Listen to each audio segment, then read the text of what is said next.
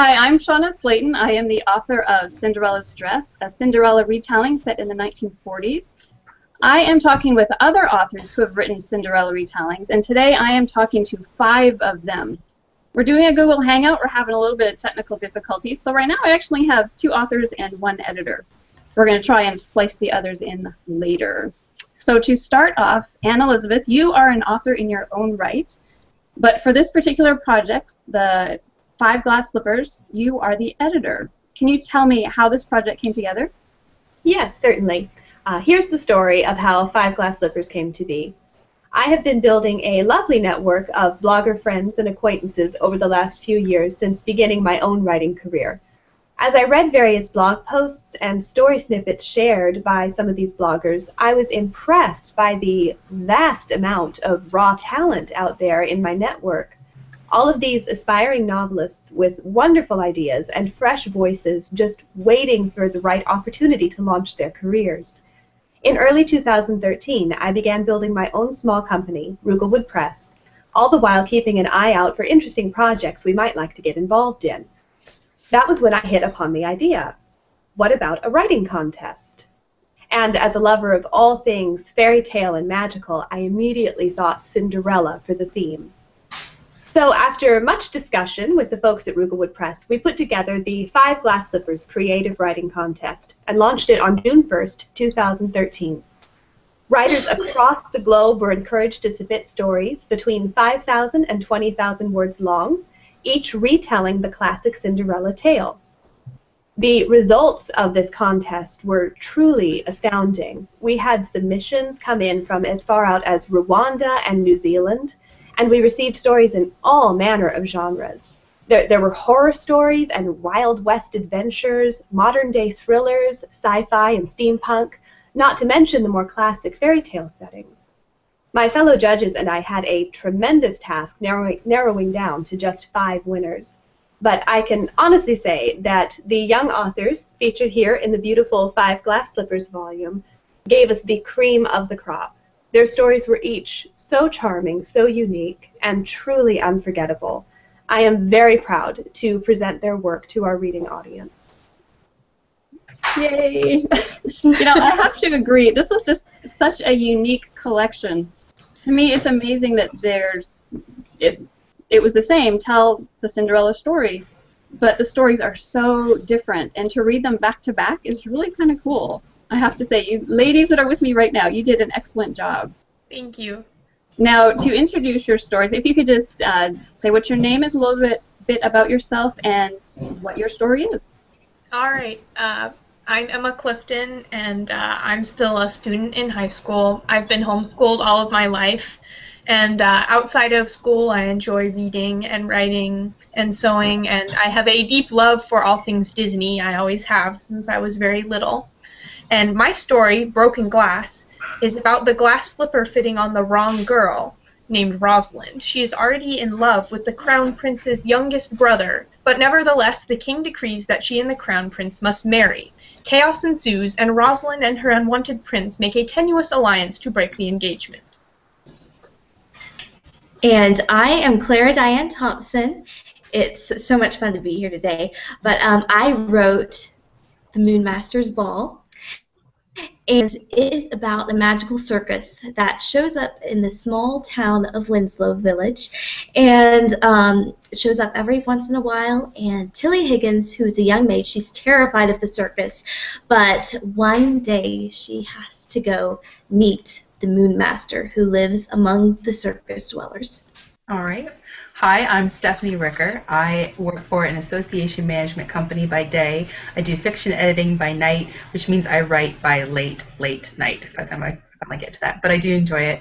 I'm the author of A Cinder's Tale, and that story is a Cinderella retelling set in a sci-fi setting because that's definitely my area. So the Cinderella character, her name is Elsa, and she's a miner. She does, she does mining for ore on a lava planet. So she deals with plasma storms and space station bureaucracy, and she encounters a young and intriguing lieutenant in the Galactic Fleet. I'm Elisabeth Brown. I'm a student in college. I'm a senior this year studying piano performance. Um, in my story, I wrote What Eyes Can See.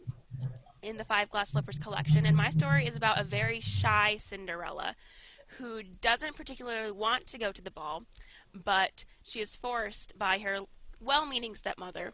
And so my story is about the repercussions of that night and her kind stepsister's attempts to help her deal with those repercussions. I'm Rachel Heffington, and I am a nanny when I'm not writing, and I like to call myself a Mary Poppins. And the kids I nanny give me lots of funny stories, and it helps inspire my characters because I also write for children.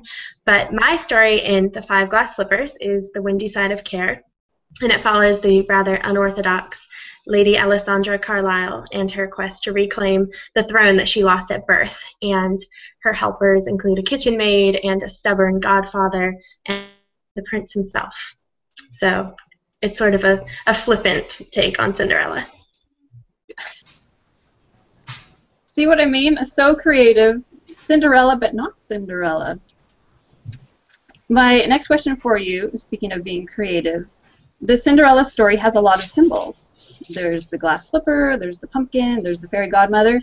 Can you tell me one of the unique ways that you used one of those symbols in your story?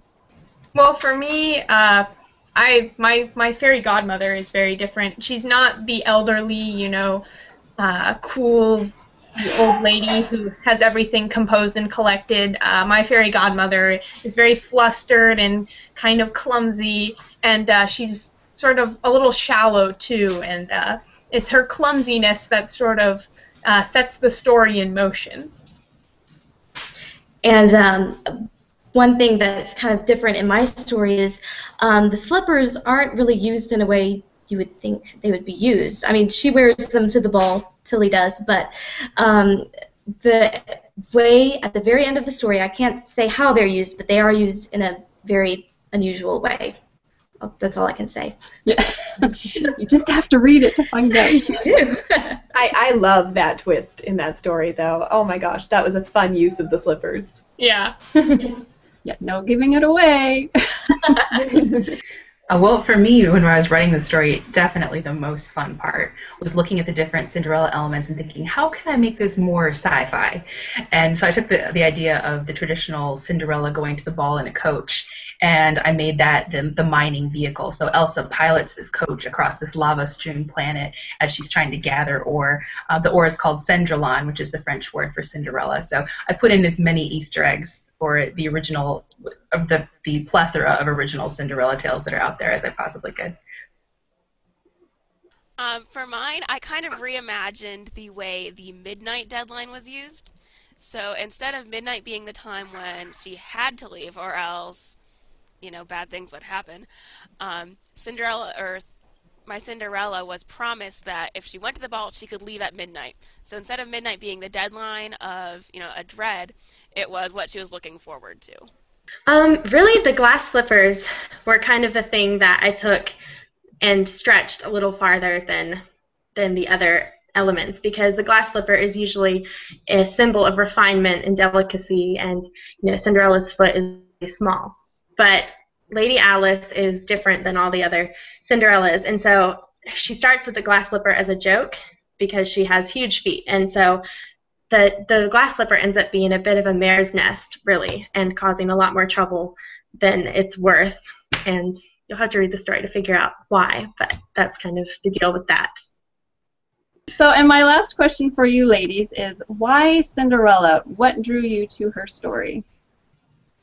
Well, for me, uh, my sister and I were watching a bunch of the old Disney movies on our VHS tapes, and because uh, we were preparing to go to Disney World again, and we wanted to catch up on all our old Disney movies, and so we were watching Cinderella, and we were at the part where uh, the king's attendant was in the Tremaines household and reading the proclamation about how the slipper fits, the lady must marry the prince, and I was thinking, well, what if it fit on the wrong girl? Would she still have to marry the the prince? Like, would she be forced to marry him? And so that's kind of where I got my idea, but I didn't think much of it because I already had a bunch of stories I was thinking about. But then a few days later, I found out about the contest, and I was like, wow, this is perfect. I have an idea already. So that's that's where it started. And mine, mine started. I never have ever really liked the Cinderella story. I mean, I like it, but it's just not one of my favorites, and I, it's not one that I would choose to write a retelling about. And but as soon as Rooglewood Press announced the contest, immediately I became a fan of Cinderella. it's my new favorite fairy tale.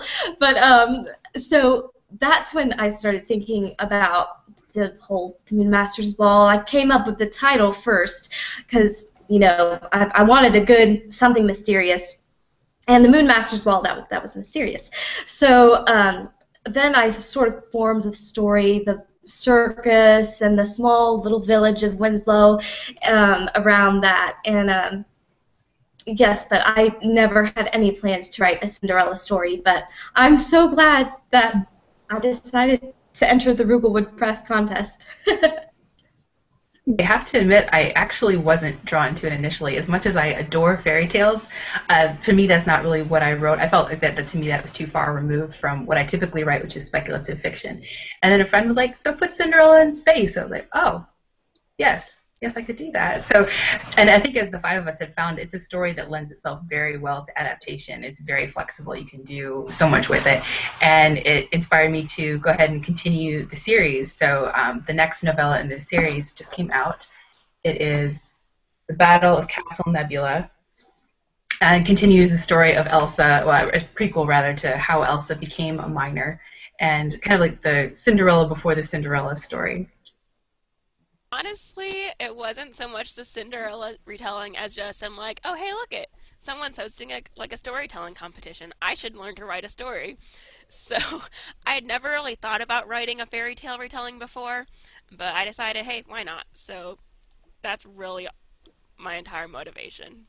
Um, well, originally, actually, confession time, I was like, wow, I don't, I don't know. Cinderella seems the story that has been most retold, just all over the world, every culture has a Cinderella story.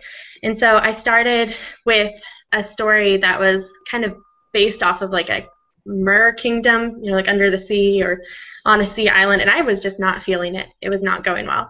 And so I just started thinking randomly one day about how my best friend would be if she was a Cinderella character.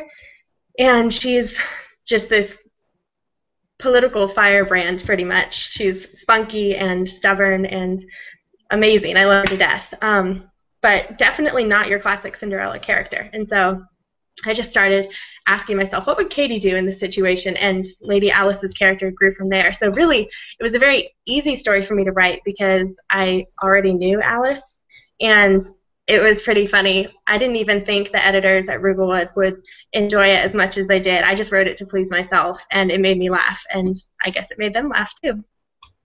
Well, thank you so much, ladies. Those were the questions that I had. Now I'm going to uh, try and contact the other authors and see if we can splice them in between. Thank you for sticking with all the technical difficulties and. Uh, I really enjoyed reading your stories. You have It done an excellent fun. job, and I look forward to reading more from each of you.